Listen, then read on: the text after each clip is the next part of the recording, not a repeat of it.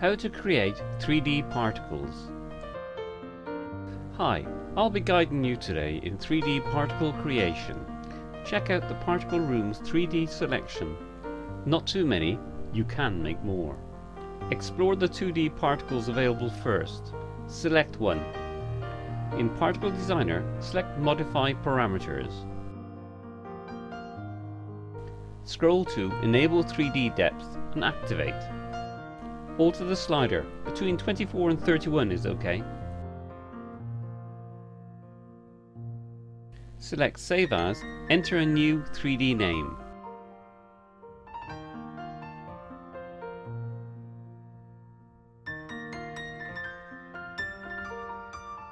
Check out the new custom particle.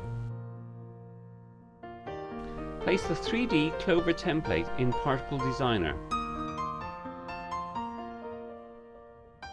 Click in each numbered object. I'm looking to see how the particle was made.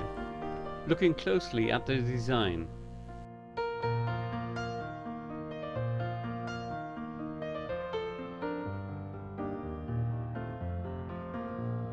Selecting the Particles Drawing pencil icon displays the Emit options. Enable 3D Depth is selected.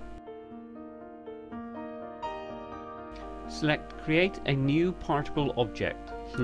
we have a task to perform first. Using a green card, some flowers and my video camera, I snap some photos. We're going to create some particles. I call up my image editor. I'll need a new file, the same size as the photo with a transparent background. Using a magic tool to highlight sections, I copy from one to the other. I'm gradually building the flower, no green background wanted.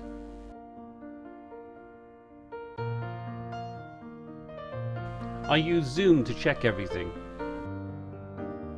Saving the new file as a ping PNG file. Bring the new file back into the image editor. Select the transform tool. It'll highlight around the image. Next, copy the new particle image to a, smaller transparent ping file. Save and close the file. Repeat the process to create more ping images. We have now our blank canvas to create a particle.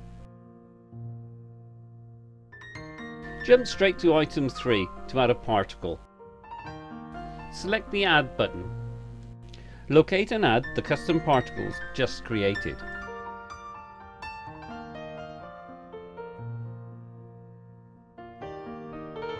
Continue to add more.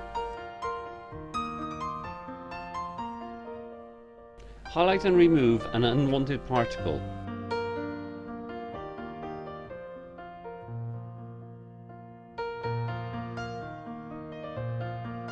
Eight particles is the maximum.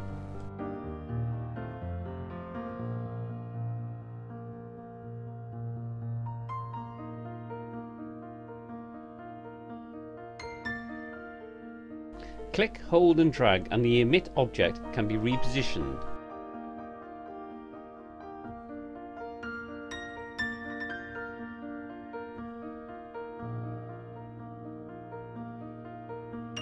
Scroll down and make changes.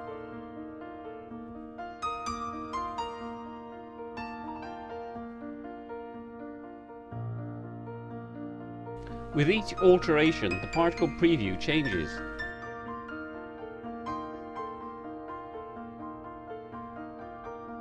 Move the slider controls or type in new figures. I'm aiming to create the right balance. The important option, check the enabled 3D depth.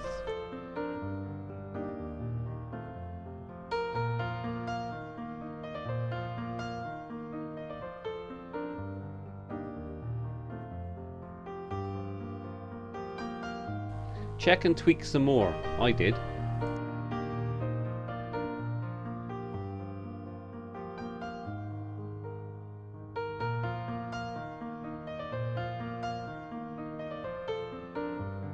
Okay, we're now going to give the particle an object path. Select a path. Click and grab the path edge and then move it to where you want.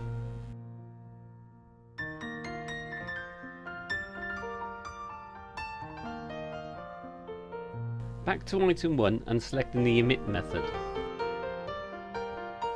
Select test and decide, that's what I did.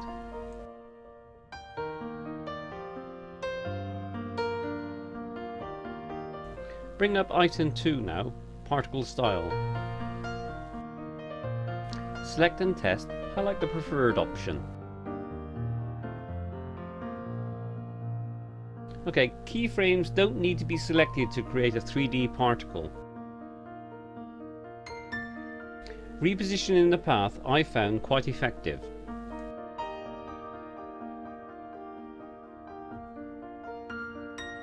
Keyframes are for positional redirection in Particle Designer.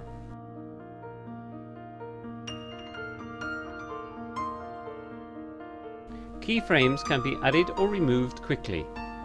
Reposition the keyframe placements on the motion path in Particle Designer. Select Save As. Enter a suitable 3D particle name. Move the slider to create a representative thumbnail. Select 3D in the preview player to check the new 3D particle. Thank you for watching my video and it's over to you now to create a new 3D particle.